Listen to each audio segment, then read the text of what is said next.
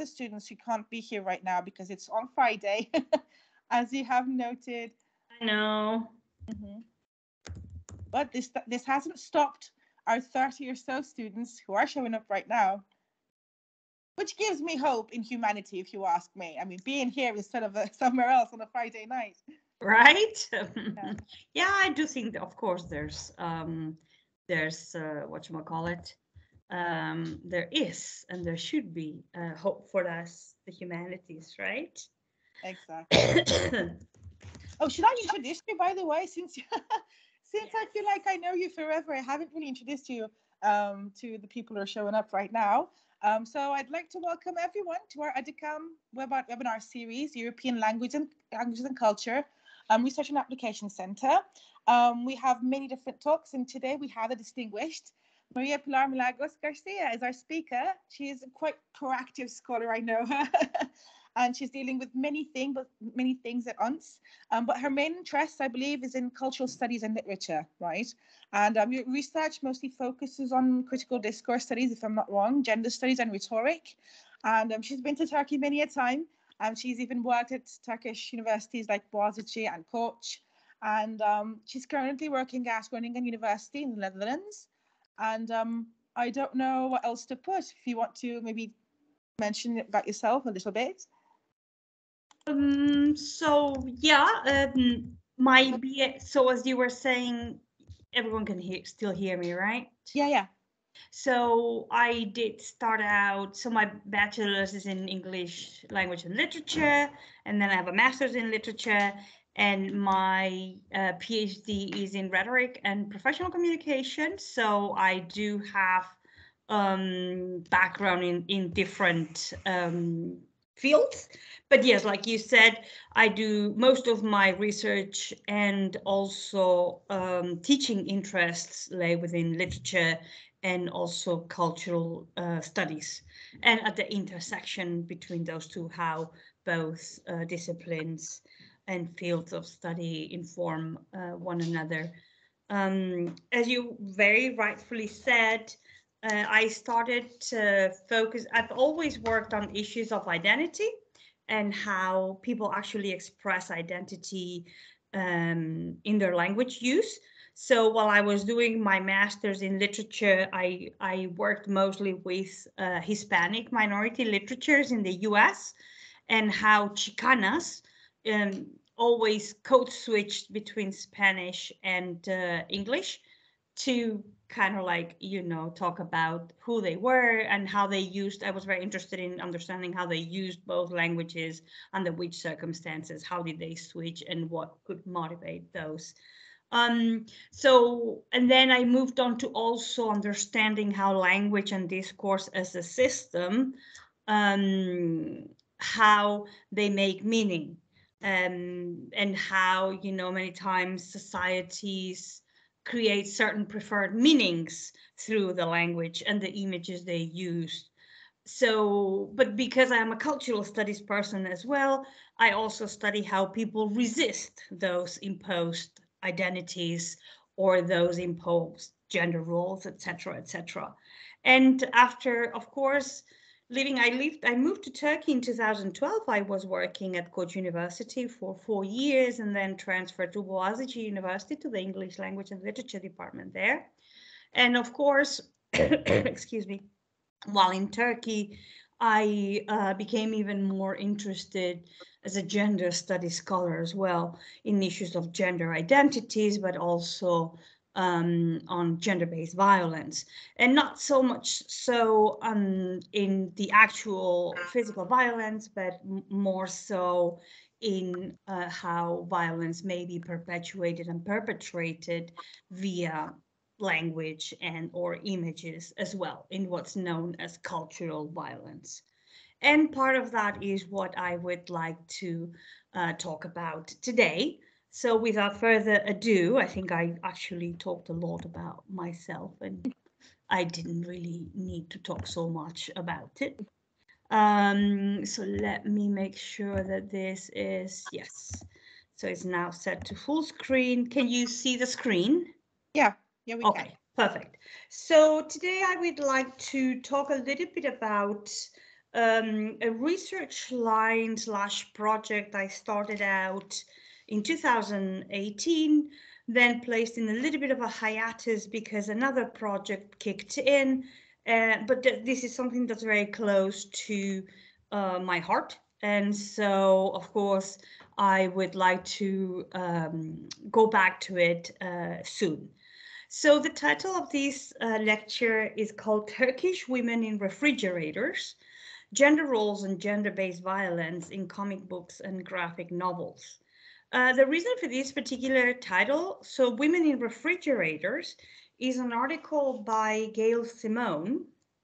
Uh, in that article that I used while I was actually at Koç, I taught a course on uh, the rhetoric of popular culture. So we examined uh, comic books and video games. And she actually discusses how in the world of comic books, there are very few female protagonists and the, the few that do exist suffer horrendous violence at the hands of men. Um, so I decided to adapt that particular title, Women in Refrigerators, and then adapt it to Turkish Women in Refrigerators, which actually uh, deals with that particular idea. And this is the original one. Uh, I don't know if you can actually read the the comic strip um, here is the woman is in the refrigerator. So this is what I was referring to. Um, so the reason why I wanted to start by talking a little bit about why comic books, why this particular genre, but also um, how that fits in a little bit with um, who I am. So as you probably know by now, English studies as a discipline has expanded its scope of research to include materials other than classical literary text. So in those open spaces, scholars like me, who are a little bit inter, who are interdisciplinary and cross-disciplinary, um, teach literature as a way to both help students connect to the past, understand the past, and where we've come from, but also to create safe spaces in the classroom where students can discuss issues that are more current and also of relevance uh, as a way to connect to the present and to the future. So because I wanted to combine both transgressive texts and social issues of relevance, I did start this research line, as I told you, back in 2018. Now, may, some of you may remember that on April 10th, 2018, Imran Kandemir was murdered. Um, the police immediately apprehended her ex-husband, a police officer, as a suspect. Imran was a student at the MA program in English literature at Pamukkale University. And upon hearing of her brutal murder, a symposium to commemorate her and to discuss gender-based violence in literature was organized. I did send a proposal to that particular symposium um, that focus on a multimedial, uh, multimodal medium, sorry, comic books and graphic novels, as an attempt to blur disciplinary understandings of text, but also as a way to connect to this present and future by discussing uh, issues of social importance. The reason why I chose a graphic novel is because according to scholars such as Knowles, Peacock, and Earle, quoting, a graphic novel has the potential to reshape what literature means, transforming the notes, a cutting across and moving beyond received ideas of what constitutes a literary text. Seen in this way, this graphic novel is a trans form of literature, end quote. Based on the transforming potential of comic books and graphic novels, what today I want to do is to encourage their interpretation, their incorporation, sorry, in the classrooms, because they can help create a safe and critical environment to discuss various societal issues while they're still, while students are still learning about literature and about theories uh, of literature, literary theories. So comic books as a genre dates back from to the 19th century and it has developed into a cultural phenomenon in the 20th century. They were originally written by young for youngsters, but are mostly consuming consumed by males nowadays. as I was telling you before, very few female heroes ever make it to the forefront, and even fewer comic book female comic book writers exist. So, as I said before, on top of how you know the very very few participation of women the few women who do make it to this particular um, medium suffer horrendous deaths. So as you can see here there's a few examples. Uh, all of savage dragon's girlfriends are dead. Amethyst is blinded um, apparition one of her three bodies is dead. The her soul's bound to her boyfriend, Aquagirl dead, Batgirl paralyzed, Batwoman dead, Miss Marvel mind control impregnated by Ray, powers and memories stolen, and so on and so forth. And of course, there's a full list of these characters. You may access it at that particular website if you are um, interested. So these are over a hundred female comic book heroes that suffer atrocious deaths or other horrendous destinies. So um, because comic books, of course, are considered a medium primarily for entertainment purposes and vastly read by male youth, investigating whether gender-based violence is also alarmingly present in comic books in Turkey is an issue that I thought was worth exploring. Furthermore, investigating the effects of utilizing humor to delve into such a grave problem, such as gender-based violence, is also worth researching because, of course, we need to wonder whether human humor can actually help sensitize people about serious issues.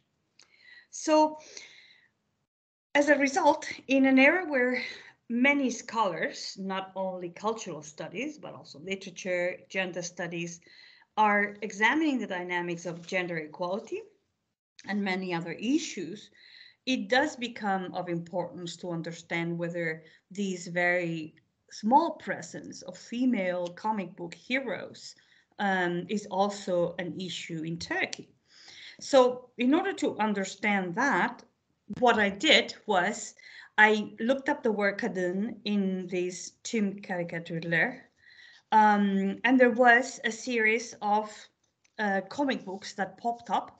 Unfortunately, I've tried to access it again because I wanted to show you, but that's not um, available anymore. However, I do have, from my original research, some of the examples. Uh, as you can see, you know, the dates range because I did up until the end of 2018. So this is what uh, came up. These are a few of the images.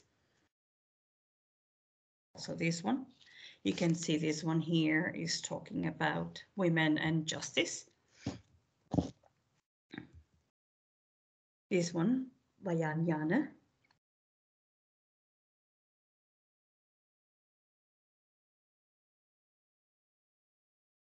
And or this one. So in these examples I've just shown you, there are a few common patterns um, that describe women around beauty, womanhood, and under other gender roles. However, of course, the parameters were too wide, so I had many, many uh, results. And uh, of course, the, the reason why there were so many results is because, as you know, um, Turkey, comic books in Turkey have a, and comic strips, I should say, and cartoons have a very long trajectory in Turkey. In fact, the first female, uh, professional female cartoonist was Selma Emiroğlu, uh, who was born in 1928 and published her first cartoon in 1943 in Güler, and then began drawing regularly for Doğan Kardeş shortly after that.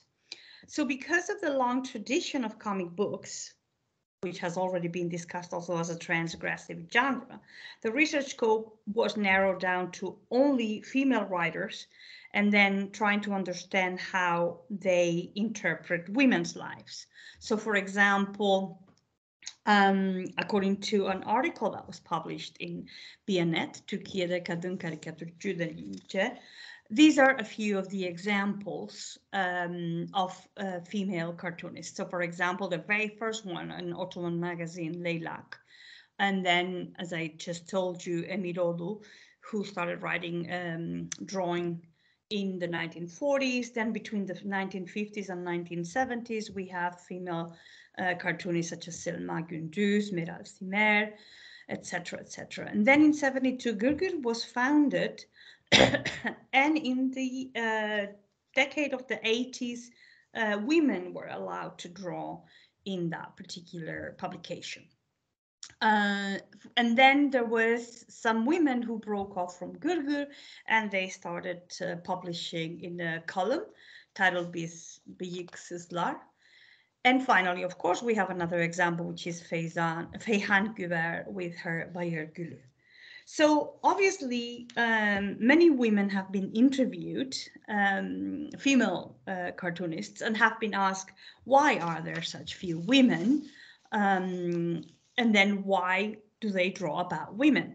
So these are some of the answers that I found. So for example, Güver said that back in the day when she started drawing about uh, in, in cartoons, they were forced to write about women issues because they were women, so they had to write about women issues. Gülay Batur in the 90s said that there are only a few lawyers, hence there are only a few female cartoonists as well. Uh, Piyale Madra in 1996 said, women are second-class citizens, they're not allowed to speak or even laugh near men, and in such a society, when women try to make others laugh, one can understand the low num numbers. And finally, Güver later on in 2004 said that women are lost because of the roles that society allows for them. So our first job is to be a mother, a spouse, so we are pressured in the careers that we choose. Um, however, when we go back and we do a preliminary visual analysis and textual analysis of the comic books that have been written by women, um, I couldn't really find markers of physical violence, but they they do point to linguistic violence, which I will talk a little bit more about in a minute.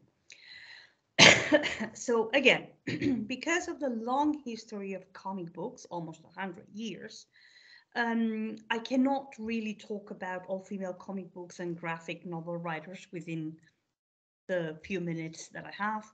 Um, besides, um, in late 2018, I had just submitted a proposal for another uh, large qualitative study that lasted a year and a half. So I had to place this particular uh, research project on hold. And then by the time I was done with my other research project, I had to leave Turkey as I'm not Turkish. I do not speak the language and I can't really uh, work on this by myself. So I have placed this on hold until I can actually uh, retake. That larger research project will examine how women have historically understood and also perceived women's lives since the 1920s until the 1980s, for example. And I will examine images of womanhood, gender roles, and so on. But for the remainder of this particular lecture, I wanted to focus on a particular graphic novel. Um, a novel titled Dare to Disappoint, Growing Up in Turkey, written, uh, it's a graphic uh, memoir written by Özge Samancı. I don't know if you're familiar with it. Um, and I will study uh, and I will talk about how uh, the writer portrays women via female characters, both linguistically and via uh, written language, and which roles they embody. so this is a little bit what I'll be doing for the remainder um, of the lecture. So um, to that purpose, and this is what I was telling you at the very beginning about cultural violence, that's what I uh, focus on. So uh, what I will do is I'll identify the roles that female characters embody, discursive markers uh, used to describe their lives, and also examine symbolic representations of womanhood. I do conduct such an analysis via rhetorical and discourse analysis. Most specifically, I focus on um, aspects of culture, the symbolic sphere of our existence, exemplified by language and art, uh, that can be used to justify or legitimize direct or structural violence. And this was a quotation by Galtung, who coined the um, phrase and the concept of cultural violence. So I examine language and literary discourse from a discursive perspective with a social, cultural, and a gender focus to understand how language, discourse, and images are used to talk about and to talk to women in order to identify whether violence is perpetrated and based on the results, then suggestions for utilizing comic books and graphic novels as resources to discuss both literature related concepts and societal issues in the classroom will be recommended.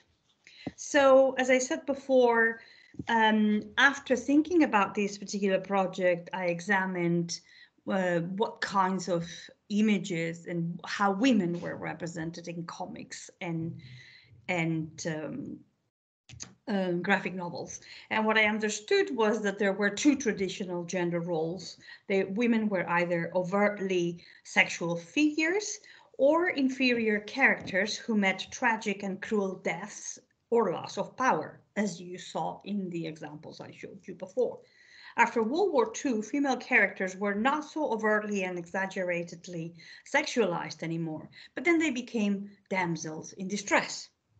And then in the 90s, again, women became hypersexualized and still continued to be portrayed as inferior be beings. So because of these unequal power dynamics is that I focus on feminist critical discourse analysis, also because um, literature, literary texts, texts also help us uncover cultural and cross-cultural codes embedded in discourse. So this is how um, feminist critical discourse analysis helps me. Um, also because there is a um, an attempt to reflect on our practices and reflect on how we can change things and how we can accomplish social uh, change. This is also accomplished via feminist critical discourse analysis. And then it also helps us understand the gendered ways in which power is abused through discourse. And this is Judith Baxter's ideas. So uh, without further ado, I'm now going to talk to you a little bit about what I um, understood after reading and examining this particular graphic novel. Um, so in this particular graphic novel, we witness the growth, physical, but mostly spiritual, of a girl in a society that goes from being quite open-minded to being restrictive slash militaristic. In this transformation, mindsets are also changed, especially because of the new order and new understandings of the world. There are also new dynamics. The graphic memoir follows the path of a young girl who never quite fit into anybody's patterns, not her societies, but also not even her families. So Özge, our protagonist, starts out the graphic memoir by, by stating, I have found my identity when she means that she has finally started school, which she has been quite obsessed about for some time, and now she can wear finally a uniform. In the end, and after having tried out many identities, Özge realizes she should become a writer. And through that journey of self-discovery, Özge narrates experiences with other major and minor characters and also presents various settings and how they influence her. And this is the part where we can use this graphic novel to actually discuss literature and discuss graphic novels as a genre in the classroom. So, of course, uh, in order to understand how language may perpetrate violence, I read the graphic memoir a few times and then took notes. I identify instances in which um, the writer was talking about women's experiences and then based on my notes, I wrote down a few categories that emerged. So I understood that when the writer talked about women, uh, she was referring to gender roles. The theme of violence was also quite important. And then to a much lesser extent, there were also some ideas about womanhood, religion, and family. So when it comes to gender roles, um, very early on in the book, we learned that at school, children are actually taught about the different roles and or job opportunities for women in Turkey in the 1980s. Uh, school thus becomes a very crucial setting uh, in which readers become familiar with most of the important categories uh, that I've just mentioned, but also, of course, uh, violence. Yes, so when we look at this, we see that we have government employee, homemaker, self-employed, and artist. Um, and then, of course, she thinks that that's an amazing graph um, because she understood that someone's mom was an artist, which she was totally fascinated about. I did not write this, but this comes from page 16 in the graphic novel. So we learned quite early on that um, that for women, you know, this is what's available. Um, it is also, for example, Özge's mom is a is a housewife, but she's also a sewing teacher. Uh, so she teaches people how to sew. Uh, and then, you know, we also learn in the graphic novel that the mother is also a housewife. She's not feeling well, but she has guests, so she is expected to cook because she is um, the mother after all. Um, according to the father, who's a very liberal man, uh, women should study engineering or medicine, he tells Özge, to prosper and be independent. And the father also insists that women should work because they need to be independent. Özge struggles throughout the novel to find her place. She tries to be a swimmer, a dancer, a theater major, but everyone crashes her dreams by telling her these are hobbies. These are not real jobs. In the end, they tell her women should get married, and she gets really angry and says, I will never marry. And then her teacher tells her, then you will die alone. For men, though, the job opportunities and gender roles are very different. So, for example, the father teaches um, a very technical uh, drawing class versus the mother who teaches sewing, right? And then at some point, she understands that this is Turkey and opportunities for men and women are not the same. At school, girls are also taught gender roles very early on so for example, Özge, who wants to enact Ataturk, is told you can't be Ataturk, but you can be Ataturk's wife, right? Um, so boys and girls uh, book covers are also separated by gender, red and blue respectively.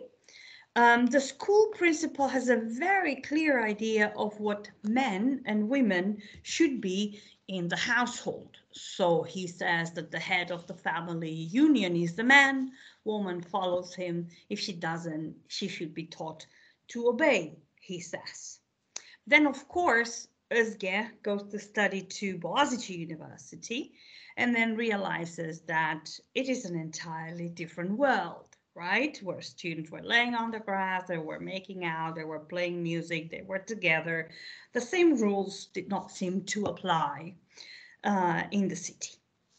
The second largest um, theme that I told you about is violence um, when it comes to women. So how the writer talks about women and their lives. Um, in the text, we also learn quite early on, on page seven, that Özge lives in Izmir, a very cosmopolitan and secular city, your city, However, with the military coup in 1983, we also learned that Özge's family has to move out to a very dark neighborhood with dark streets.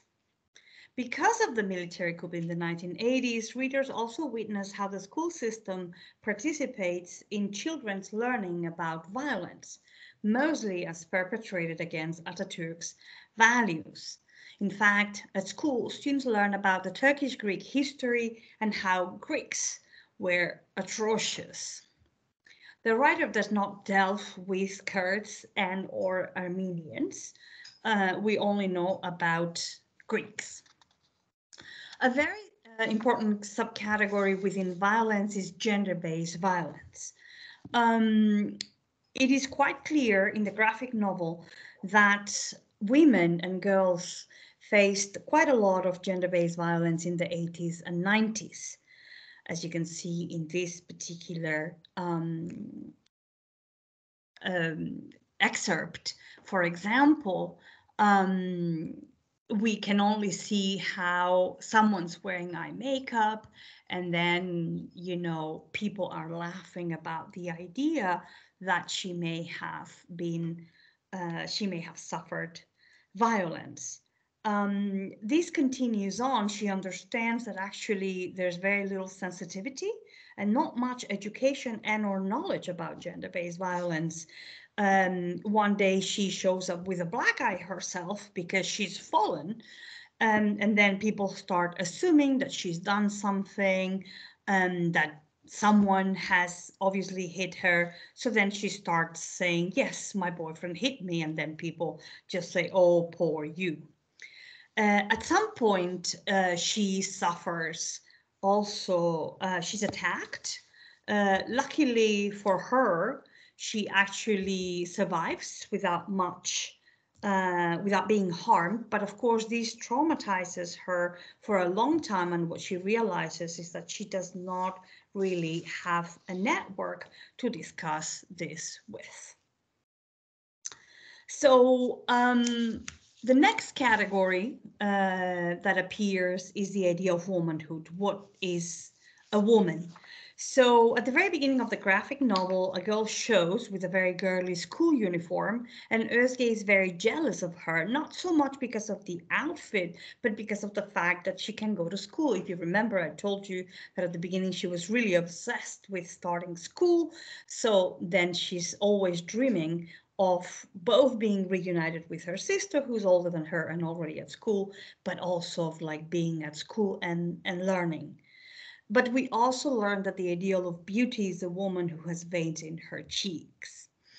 Um, later on, when she herself goes to school, we are introduced to Özge's teacher, and she describes her as a big but beautiful woman. At school, we also learned that there was a difference between being a woman uh, in the late uh, Ottoman um, Empire uh, versus being a woman now with Ataturk. Uh, sorry, with Ataturk, not now.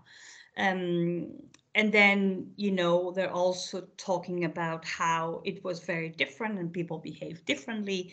And then what happened after uh, being westernized by Ataturk. Uh, the next to last category that I wanted to briefly talk about is religion. These are categories that appeared much less when it comes when uh, Özge, uh, when the writer is talking about women. Um, so we learn that according to Özge, women like her are perceived as promiscuous, as valueless. Uh, according to the boys at school, women are infidel, exhibitionists, and brainwashed, westernized bitches. And Merve, who's a practicing Muslim is resented because scarves have been banned and she has to wear a hoodie and that she has to remove uh, in the classroom. And the final category when it comes to every time women are mentioned is family. Um, as members of the family, daughters are described as errand girls. And they're good students. They should not disturb the father. And then the uncle, the man, is a socialist. He's against violence. But uh, the mother is shown as a very understanding person, knows how to make peace. She needs to connect to the father. The father, on the other hand, likes hard work, order, discipline. There's no pleasure for him. He rose her, her children. He didn't have a family himself. So he's learning to be a dad through his daughters. So based on this particular analysis I've conducted of uh, Dare to Disappoint, um, some concluding remarks I wanted to end with is that comic books and graphic novels can indeed be used in the classroom. Um, they can help us understand cultural violence. They can help us understand how um, many times language and images can perpetuate and perpetrate violence. Uh, violence that's more symbolic, but still nonetheless violence. Uh, it can also help us understand how the arts engage with such, with topics such as violence. Um, because it is a very uh, complicated problem, it can also open up spaces for students to see themselves represented in some experiences that are narrated in those graphic novels and perhaps even find a network to discuss their own experiences. And then finally, um, they can also help us and they can also, they should be included in the classroom to understand how graphic novels work as a genre. Mind you, this particular uh, graphic novel I just discussed with you um, is indeed was written for a US audience. So it does engage in binaries, women, men, Ottoman times, Ataturk times, and there's not a lot of critique or a lot of nuancing certain problematics. But still, the fact that a graphic novel is not perfect does not mean that we shouldn't include it in the classroom and we should engage with it critically. And I don't know if you have, if anyone has any questions. Thank you very much for the speech. In fact, it made me think, why do we not include comic books more often in our classrooms, right? And um, it has a lot to do with our preconceptions, I guess, I guess, with the um, literary canon that was taught to us. And that we have that, again, binary thinking that we have serious literature on one hand, and then we have not, not so serious ones. And um, maybe we should be the first pioneers, kind of breaking that um, binary thinking, right? Um, any questions, by the way? Um, maybe you can't see the comment section, but if you don't want to speak up, you can always write in the chat section. I, I can read it out loud or speak it to hear.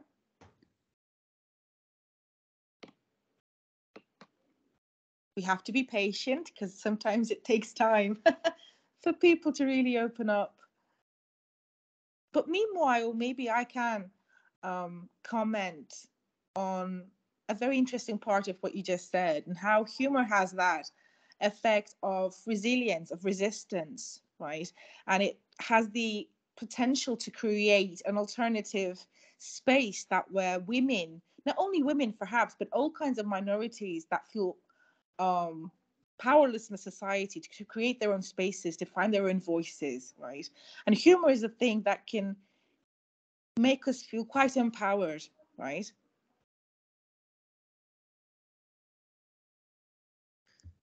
So I was thinking about that too, um, because I mean I don't know if you want me to uh, talk a little bit about it. Yeah, or... I do. I do. Yeah. Yes. Exactly. Um, so yes. So for example, you know there's obviously it's it's a controversial it's not a yes no kind of answer uh, or even approach one should take to humor because of course uh, we all know how wrongly humor can go.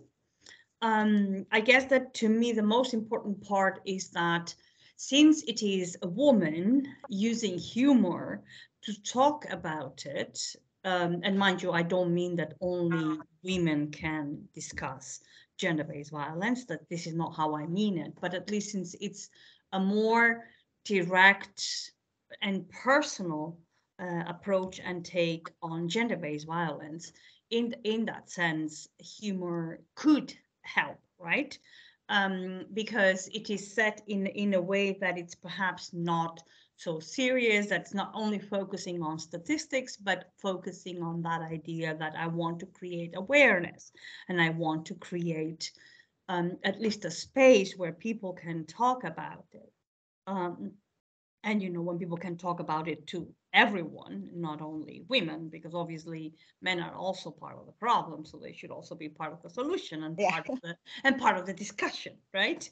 So so yeah in that sense it could help and yes, and the idea of using only serious literature, this is something that I've always, I don't know if I'm some sort of like a, a person who who fights for the underdog, but yes, I do believe that um, comic books and, and graphic novels have this potential to transform what we think about literature and what we think about serious literature, right?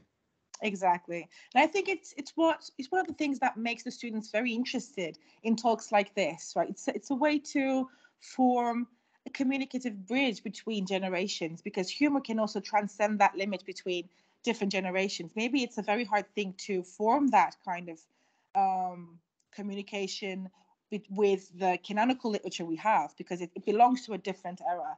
But when you have humor, it's right here and right now. But at the same time, it has the potential to kind of call and address those who were before us.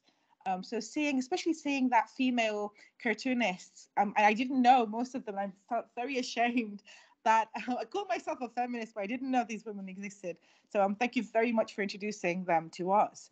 Um, and I also thought about the thing about how um, in the book, in the comic book, how we have the Greeks but not the Kurds and Armenians, perhaps because the author is from Izmir, which has, again, a very interesting stance. Many people in Izmir that I know, I'm also a descendant of Greek immigrants, and many people, the majority of the people living in Izmir, are probably immigrants of um, mainly Greek um, ascendants. So, um, very interesting to see that kind of discourse used in classrooms um, that are related to history, where you learn about people who are enemies, but then again, your grandmother or your grandparents are part of that enemy. So it's very interesting to hear that um, different stance. And I think it's also related to how we view the western parts of Turkey and the eastern parts of Turkey. And again, that binary thinking kind of moving into that um, geographical statement and how individuals are products of that statement, right? That the um, main political parties use to kind of categorize us into part, different parts. And also, like I said before, I mean, she wrote this book originally in English. It's not a translation, not even her own translation. I don't even think the book ex- i mean it could exist in in turkish back when uh, when i uh, did this particular when i started with this particular project it was in english. Because she did write it for a us audience right? So i mean they would be familiar with very few things i'm, I'm assuming again about people's knowledge but yeah for the most part they may know about uh, the greek conflicts or however they're phrased in history books, but that's why she glossed, why the writer glossed over most of the things, right? Because this is not a book that's for a Turkish audience. If it were for a Turkish audience, perhaps they would have also, she would have also included um, Kurds and Armenians as part of those history lessons. But yes, in this case, she doesn't. There's Yeah. never any mention of those uh, two uh, minorities. So why do you think this was written mainly for the US audience when its powerful impact could have been on the Turkish audience, right? Where it was supposed to make the change, where it's supposed to create a difference is here in in these lands where women can actually make good use of this kind of a narrative.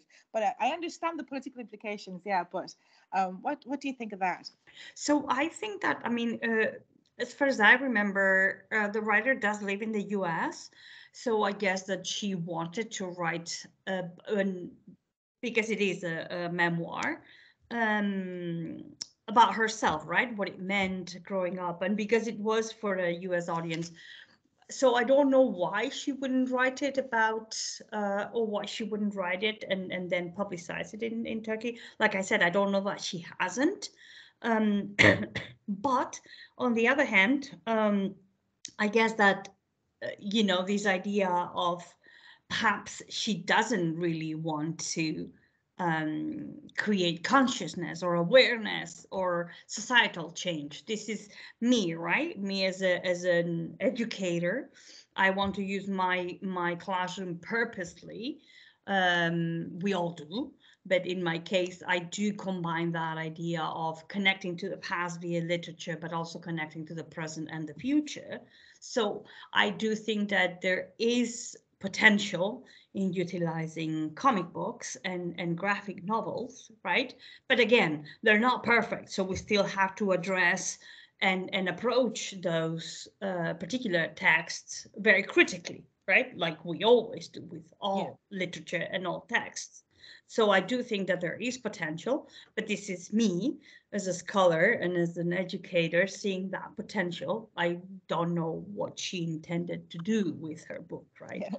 I do know that she, it was originally published in English and for a US audience, but yeah, and you're very right in that this can be multiplied, right? This study has a lot of potential in turning into a quite bigger project, um, maybe in the future. Yeah, but but I, I'm just having a great conversation with you. Don't know. I'm really not the best moderator in the world, I guess. I've taken the liberty of asking all the questions myself. Do we have any other questions? Anything that you'd like to add? Any comments? Maybe you've given a lot to think about, right? Food for thought. So um, I'd like to thank you um, for this brilliant, brilliant speech and giving us very inspiring thoughts. Um, maybe we can utilize these comic books and graphic novels more in our classrooms um, to at least make justice to this empowering stance of the discourse created alternatively, especially in relation to freedom and the whole potential that it can give us in terms of how to teach our students to become better versions of themselves, both by criticizing and also recreating these discourses. So thank you very much for being us with us today. Thank you for having me. Good evening. Good evening to us, but have a good day to you, I guess, right? Yes. well, it's yeah, it is a little bit earlier, but yes good uh, evening to you all and thank you for all the students for joining us on this uh, Friday afternoon slash early evening. Um, and I wish you a very happy rest of the evening. Thank you so much in the name of all of them and hope to see you in the future once again. Hopefully face to face this time. Yes, indeed. Me too. see you later. Bye-bye. Bye.